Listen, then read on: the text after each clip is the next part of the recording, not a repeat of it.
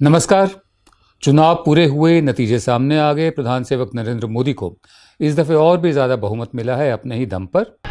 और हम ये नहीं कह सकते कि बीजेपी की जीत हुई है, ये नरेंद्र मोदी की जीत है। उनके साथ साथ ऐसे तमाम एम की जीत है, जो अभी 10-10 20-20 दिन पहले आए थे राजनीति में। बहुत कम समय उनको मिला राजनीति में, लेकिन मोदी के नाम पर लोग जीतते गए। अब इतनी बड़ी जीत के साथ बहुत बड़ी ज़िम्मेदारी भी आती है। हमारे यहाँ माना जाता है कि सरकार का एक हनीमून पीरियड होता है, किसी भी नई सरकार का। मोदी सरकार का पिछला कार्यकाल जो था, उसमें हनीमून पीरियड करीब तीन साल तक चल गया था। विपक्ष को लकवा मार गया था। विपक्ष हाथ पर हाथ रख के बैठा रहा था। आखिरी दो सालों में कुछ डिसेंटिंग वॉइसेस प्रतिरोध की आवाज़ें शुरू हुई थी और उसके बाद ये चुनाव हुए। अब इस सरकार को जो मौजूदा कार्यकाल है, नया, जो शुरू होने जा रहा है इसका हनीमून पीरियड तो नहीं होगा, क्योंकि ये कंटिन्यूस चल रहा है।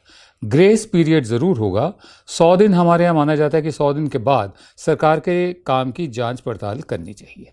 अब क्योंकि बहुमत इतना बड़ा है, इसलिए जाँच पड़ताल भी उतनी ही सख्त होगी कि जो वायदे किए गए मैनिफेस्टो में, वो किस हद तक पूरे हो रहे हैं समय समय पर उसकी जाँच पड़ताल परख ज़रूरी होगी। चुनाव जिस नारे पर लड़ा गया, राष्ट्रवाद के नारे पर देश प्रेम के नारे पर, मुसलमान को एक एक तरह से एक दुश्मन बनाकर लड़ा गया, वो अलग बात थी, जो मैनिफेस्टो है, उसमें जो जो वायदे हैं, उन पर निगाह रखना ज़रूरी होगा। तो हम यही कहेंगे नरेंद्र मोदी प्रधान सेवक से कि आपको एक बार फिर चुना है जनता ने। और इस दफ़े आप, पिछला जो कार्यकाल आपका रहा, कोई इम्प्रेसिव नहीं रहा। लोगों ने आपकी परफॉर्मेंस पर ध्यान नहीं दिया। एक मौका आपको और दिया है। इस दफ़े लोगों का, जनता का, इस देश का भला करिए। हम आपको बताते हैं आप लोगों, आपके सामने क्या क्या काम है। दरअसल आपका बहुमत जितना है, उससे ज़्यादा मुश्किल आपकी आने वाली राह है, जिसमें कांटे हैं। ये कांटों का ताज है जो आपको मिला है, क्योंकि बहुत ज़्यादा उम्मीद है लोगों को आपसे। एक कार्यकाल दे दिया, अब दूसरा दिया है। जब तक आप ये वायदे पूरे नहीं करोगे जो मैनिफेस्टो में किए हैं, जनता हो सकता है आपको तीसरा कार्यकाल ना दे। मैं बता दूँ आपको कि सबसे बड़ा चुनौती जो है, सबसे बड़ी चुनौती जो नई सरकार बनेगी, उसके सामने होगी बेरोज़गारी की। रोज़गार कैसे बनाया जाए? हर महीने दस लाख से ज़्यादा नौजवान, बेरोज़गार नौजवान जॉब मार्केट में आ रहे हैं, रोज़गार की तलाश में आ रहे हैं। उनके लिए रोज़गार बनाना आपकी सबसे बड़ी चुनौती होगी। और ये मानकर चलिए कि पिछले 45 साल में बेरोज़गारी की दर सबसे ज़्यादा है। पिछले 45 साल में इतनी बेरोज़गारी नहीं थी जितनी आज है।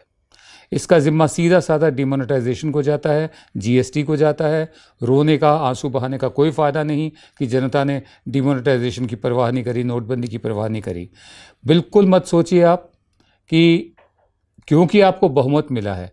इसलिए नोटबंदी की नाकामी जीएसटी का फेलियर हम्म, वो सब वैलिडेट हो गए हैं वो सब माफ़ कर दिए गए हैं। नहीं। अर्थव्यवस्था बहुत बुरी हालत में चरमराई हुई है हमारी अर्थव्यवस्था। रथिन रॉय आप ही के सलाहकार है प्रधान सेवक साहब। उनका कहना है कि हम मिडिल इनकम कंट्री जो हुई कुछ होती हैं हम उस ग्रुप में तेज़ी से जा रहे हैं उस ट्रैप में उस जाल में फंसते जा रहे हैं। और इतिहास गवाह है कि जो देश मिडिल इनकम ट्रैप में चले गए, इस जाल में चले गए, वो बाहर नहीं आ पाए। सही कदम उठाए जाएँ तो हमारी इकॉनमी, हमारी अर्थव्यवस्था दुरुस्त हो सकती है। उन्होंने ब्राज़ील और साउथ अफ्रीका का भी उदाहरण दिया कि हम उस तरह का, उस तरह की कंट्री बनते जा रहे हैं। इसके लिए मैं आपको बाद में बताऊँगा कि हमारी सलाह क्या आपको, बहरहाल इकोनॉमी अर्थव्यवस्था एक समस्या है जो आपको उलझना होगा, उससे उसको वापस पटरी पर लाना होगा। रोज़गार दूसरी समस्या है, रोज़गार बनाने होंगे। तीसरा ईज़ ऑफ़ बिज़नेस कह देना अलग होता है। मेक इन इंडिया न जाने कहाँ गया। ठीक है? लेकिन आपको वाकई ऐसा माहौल बनाना होगा कि जो बिजनेसेस हैं, जो उद्यमी हैं, उनको लगे कि हाँ हम बिज़नेस कर सकते हैं, इससे से नई नौकरियाँ पैदा होंगी। चाहे वो बिजनेसेस हों, उद्यम हों, उद्योग हों, नई नौकरियाँ उससे पैदा होंगी। हमारा जो व्यापार है, वो भी बहुत डामाडोल हालत में है, खासकर दुनिया के दूसरे देशों में जिसमें अमेरिका भी शामिल है, जिसमें चीन भी शामिल है। हमारा ये मानना है कि अमेरिका और चीन के बीच जो इस वक्त रिश्ते चल रहे हैं, व्यापार को लेकर, उसका असर हम पर पड़ेगा। फ़ायदा उसका जापान और साउथ कोरिया उठाएँगे, लेकिन हो सकता है हम पर असर पड़ेगा इसका। तो आपको ये बात भी ध्यान में रखनी होगी। मैं जान के आपको बता रहा हूँ कि आपके सामने का रास्ता क्या है। आप खुद समझते हैं इन बातों को, बेहतर समझते हैं।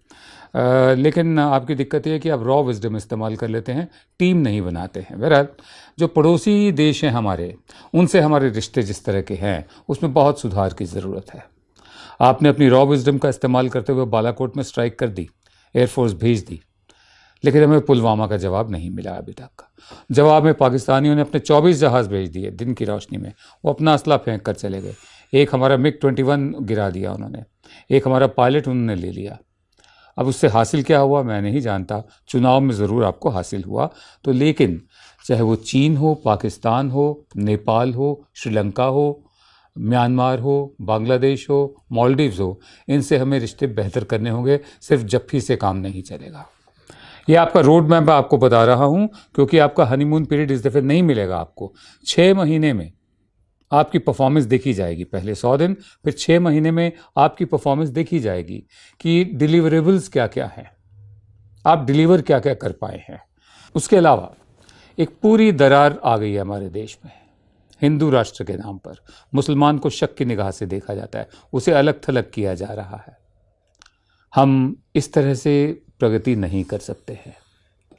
जो देश भूतकाल में जीता हो, जो नौजवान आज भी राम और रावण के युग में जीता हो, आगे ना देखता हो, उससे विश्व गुरु भारत को बनाने की उम्मीद कैसे की जा सकती है?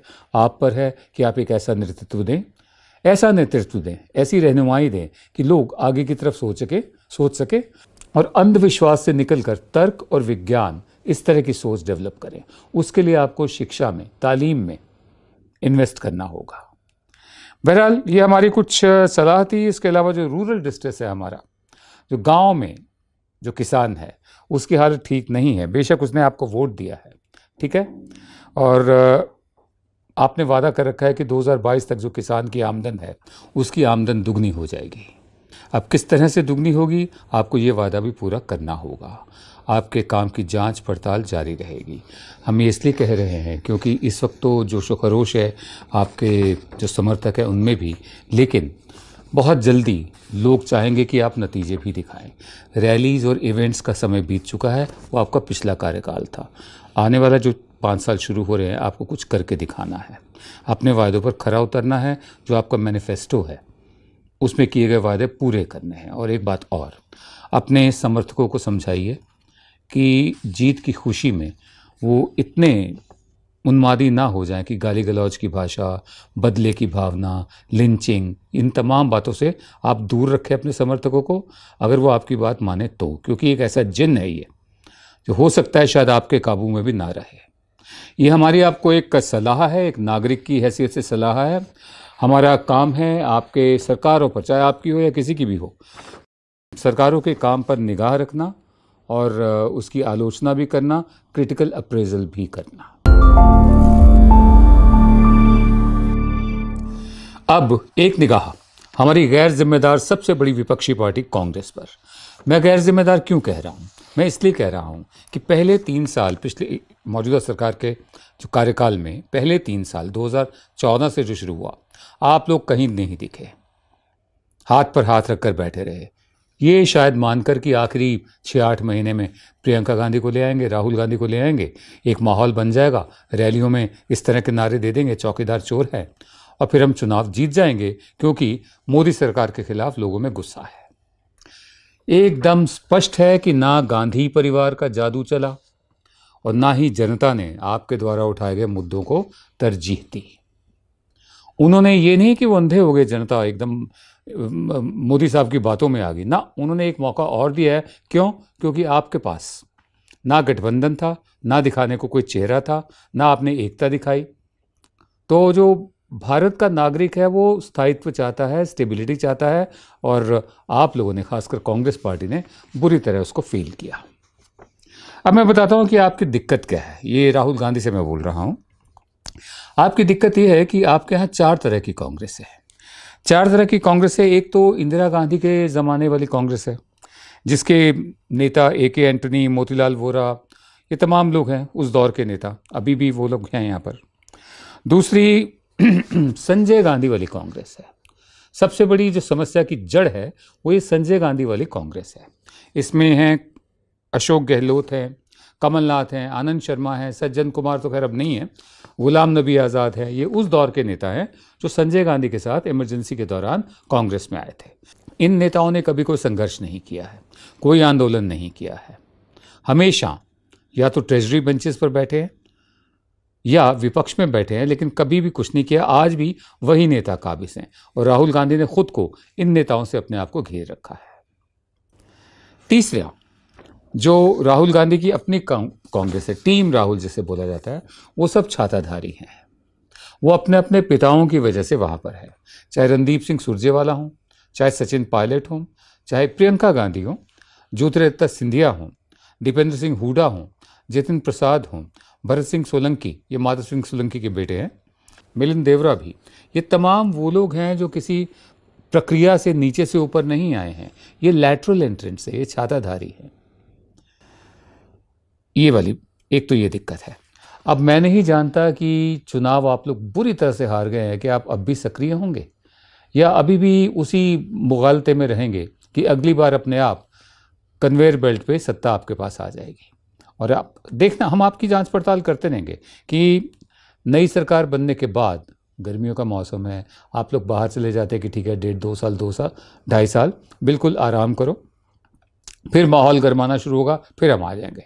यानी सबक सीखना आपको ये है कि अगर आपको सत्ता हासिल करनी है इस देश को दिशा देनी है। तो आपको संगठन बनाना होगा और वो भी एकदम ज़मीनी स्तर पर बनाना होगा। आपको अपने, हम पहले भी आपको बता चुके हैं, आपको हर राज्य में अपने अपने जिग्नेश मेवानी पैदा करने होंगे, खड़े करने होंगे। हार्दिक पटेल खड़े करने होंगे, लेकिन नहीं। राहुल गांधी ने यही गलती की है कि ही surrounded by those people who belong to Sanjay Gandhi era and is own team ज़रूरत है कि कांग्रेस का जो ये फ़र्स्ट फैमिली कांग्रेस की, या तो इंग्लैंड में जैसे क्वीन एलिजाबेथ है, प्रिंस चार्ल्स हैं, एकदम सत्ता से हट जाएँ और जो संगठन है उसको अपने आप पुनर्जीवित करें। साफ़ हो चुका है कि गांधी परिवार का कोई जादू नहीं चला इन चुनावों में। ना नाम का जादू चला, ना भाषणों का चला, ना रैलीस का चला। तो ऐसे में कांग्रेस, जो पूरे देश की विरासत है, कांग्रेस की ज़रूरत है इस देश को।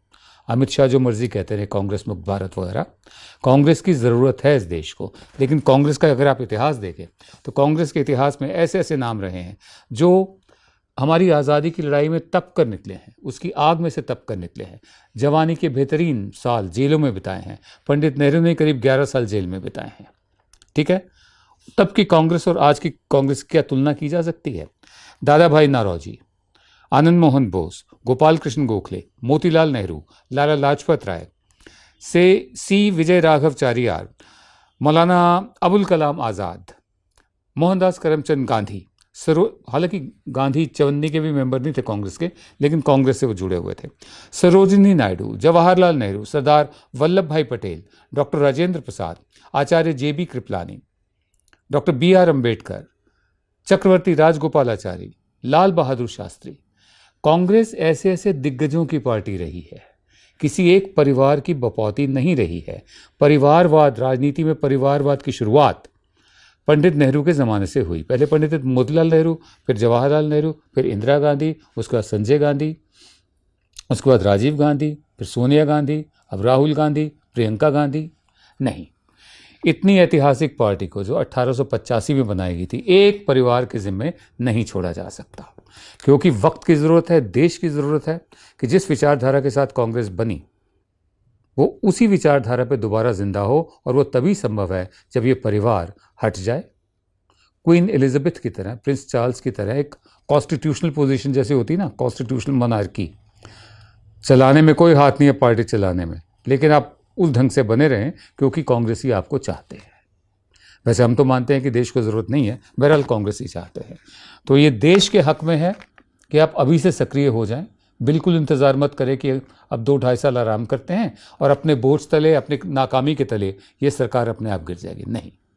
अगर आपको राजनीति करनी है तो पसीना बहाना होगा, सड़क पर आना होगा। हमें पूरा पूरा शक है कि जो टीम आपके पास है, चाहे वो टीम राहुल हो, चाहे वो संजय गांधी के ज़माने के नेता हों, चाहे वो इंदिरा गांधी के ज़माने के नेता हों, उनके बस का नहीं है संघर्ष कर पाना, सड़कों पर पसीना बहा पाना और संस्था को, संगठन को एकदम ज़िंदा कर देना, उसका कार्डर क्रिएट करना हमें शक है। हमें गलत साबित कीजिए। नमस्कार। अब खबरें पाइए सबसे पहले। हमारे मोबाइल न्यूज़ एप्लीकेशन पर। एंड्रॉइड या आईओएस प्लेटफॉर्म पर जाइए एच डब्ल्यू न्यूज़ नेटवर्क को सर्च कीजिए, डाउनलोड कीजिए और अपनी सुविधानुसार भाषा का चयन कीजिए। खबरों की भीड़ में अपने काम की खबर पाते रहिए।